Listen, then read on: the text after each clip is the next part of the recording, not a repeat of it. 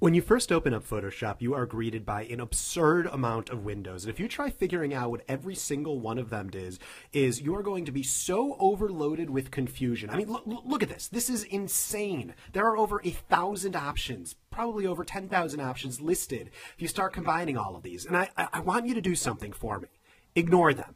Ignore this absurd amount of stuff on the top, on the side, on the right. I want you to only care about three things.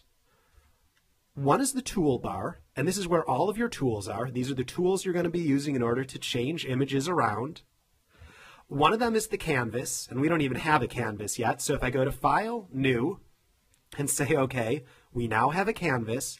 And the last thing is the Layers palette. So I see that it says Layers right here, so I can click this. If you can't find where it says Layers right there, just go into Window, Layers, and then it will pop up just like that. Now, if you're having trouble finding just about anything, all you need to do is go into Window, and if you know the name of it, it's probably going to be listed right here.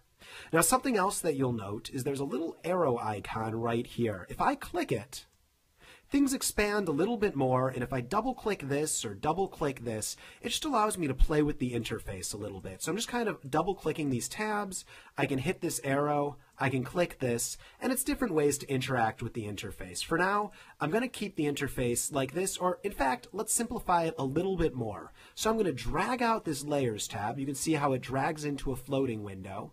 And I am going to close this, and in fact, I'm going to drag this out right here.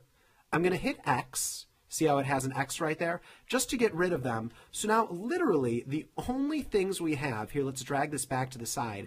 The only things we have is we have the tools, we have the layers palette, and we have the canvas right here.